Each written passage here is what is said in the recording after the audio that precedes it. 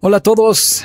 Para celebrar los 5 años de Star Wars Theory quiero volver a mis orígenes y hacer fanfiction. Creo que esta va a ser una historia muy interesante. Me gustaría que me ayudaran a escribir la parte 2 en los comentarios. Interactúen entre ustedes.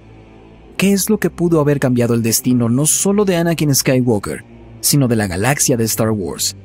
Esa es una pregunta que abarca muchas respuestas y escenarios posibles que me gustaría cubrir, si es que no lo he hecho aún pero al que me refiero es uno que hubiera cambiado a Anakin y a toda la galaxia para siempre.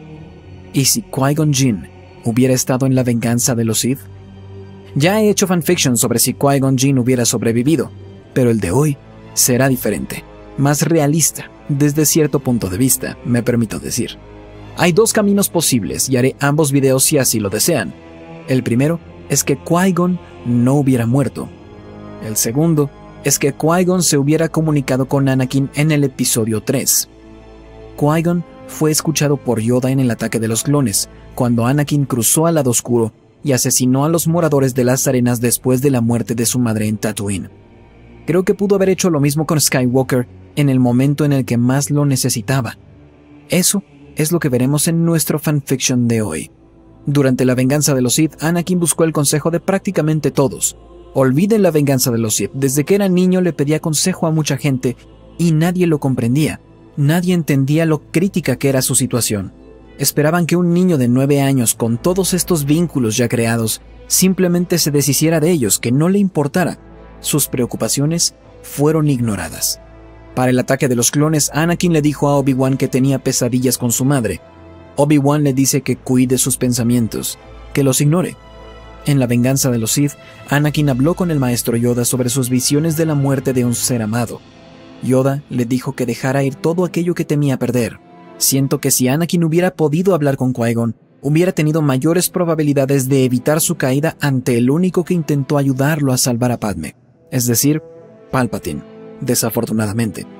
Nuestro fanfiction de hoy inicia en la escena en la que Anakin acaba de descubrir que Palpatine es un Lord Sith y va con Mace Windu para darle aviso le ordenan mantenerse en la cámara del Consejo Jedi y, si hace como se le ordenó, ganará la confianza de Windu. En esta escena, Anakin escucha la voz de Palpatine en su mente, creando un eco que se une a la gran tentación de mantener al canciller con vida, a pesar de ser un Lord Sith. Todo esto mientras ve por la ventana y aparentemente se conecta con su esposa a lo lejos. Lágrimas bajan por su rostro. Se gira para desobedecer al maestro Windu e intentar mantener a Palpatine vivo, como en la línea de tiempo original. Este hubiera sido el momento perfecto para que Qui-Gon hablara a través de la fuerza con Anakin. Creo que hubiera cambiado todo, y creo que lo veía todo, ya que lo escuchamos gritar cuando Anakin masacró a todos los Tusken. Hubiera sabido todo lo que pasaba por la mente de Anakin. Seguro hubiera negado con la cabeza ante el abandono del elegido por parte de los Jedi. Después de todo, Qui-Gon no estuvo en el consejo por una razón.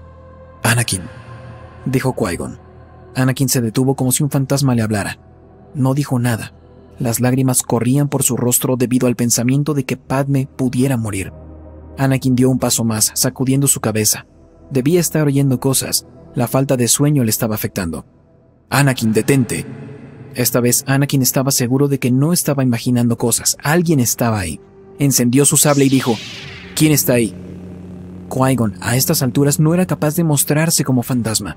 Solo su voz, su repentina muerte impidió que terminara su entrenamiento con los Wills.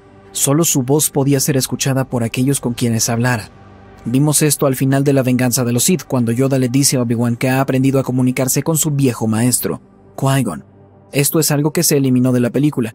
Esa escena eliminada la pueden ver en YouTube y está en el libro también. En esa escena, Qui-Gon habla con Yoda en Polismasa. Escúchame, Anakin. Su voz viene de todas direcciones y al mismo tiempo de ningún lugar. Anakin apagó su sable. Es como si estuviera soñando. No había escuchado esa voz en más de una década, pero al escucharla nuevamente, fue como si no hubiera pasado ni un día desde que escuchó la voz de su verdadero maestro.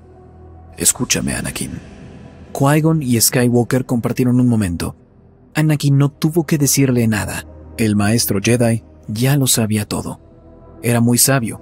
Quería usar su conocimiento para ayudarlo lo apoyó para que entendiera que el que los Jedi no le dieran lo que quería no era razón para ir a buscar eso en Palpatine. A pesar de que decía que él tenía todas las respuestas, La prueba estaba frente a él. Qui-Gon estaba muerto, al menos su cuerpo físico, desde hace más de una década, pero aún así le hablaba desde el más allá. ¿Cómo era posible? Ese era el poder de la inmortalidad. Claramente, ese era un poder que podían conseguir los Jedi. Quizá había mucho más que Anakin podía aprender a través de ese poder. Quizá no tendría que morir físicamente, podría ser inmortal de alguna manera. Por lo menos este era un mejor inicio que el que Palpatine le había prometido, algo más que el inicio de una leyenda de folklore, la leyenda de Darth Plagueis el Sabio. Ha estado haciendo preguntas a los Jedi equivocados, y ahora que está hablando con Qui-Gon sabe el camino que debe seguir. Qui-Gon le contó la historia de su interés romántico de hace mucho tiempo, una mujer llamada Tal, quien le fue arrebatada. Fue asesinada frente a sus propios ojos. El resultado lo llevó más cerca del lado oscuro que lo que jamás había estado. Fue un camino que no quiso seguir. Eso ayudó a que Anakin empatizara con él. Sintió paz con el hecho de que alguien entendiera cómo se sentía. Ningún otro Jedi pudo conectarse con él al mismo nivel. Todos eran demasiado rígidos y seguían el sendero del Senado más que el de la fuerza, aparentemente. Qui-Gon le dice que tiene dos opciones frente a él. Esto es algo que Anakin siempre apreció de Qui-Gon. Nunca le decía qué hacer. Le presentaba opciones y permitía que Anakin eligiera. Podía ir a salvar al canciller de un posible arresto o muerte, o quedarse con él e iniciar un nuevo entrenamiento con Qui-Gon Jinn. La primera opción lo llevaría por un camino que Qui-Gon no apoyaba mucho, ya que no podía sentir lo que pasaría. El lado oscuro lo nublaba todo. Anakin estuvo de acuerdo y se quedó con él, hablando sobre absolutamente todo. Lo que sea que pasara con el canciller ya no estaba en sus manos. El hombre que vio como un tío durante todos estos años le reveló que estaba detrás de la guerra. Era el responsable de todos los intentos de asesinato hacia Padme, de Dooku, incluso la muerte de Qui-Gon, por haber entrenado a esa bestia Zabrak.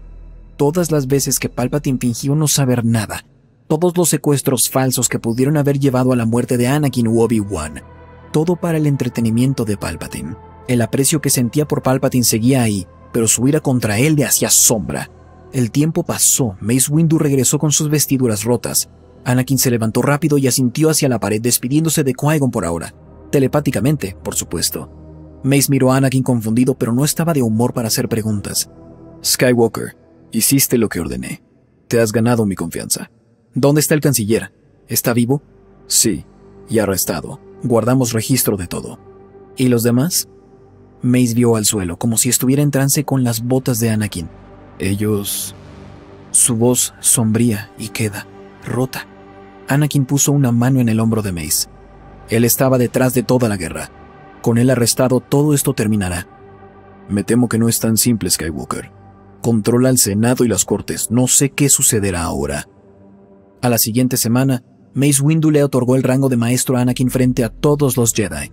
Finalmente le dieron acceso a la sección prohibida gracias a su rango, donde pasó mucho tiempo leyendo sobre nuevas habilidades y cómo usar la fuerza en maneras distintas a las que le enseñaron.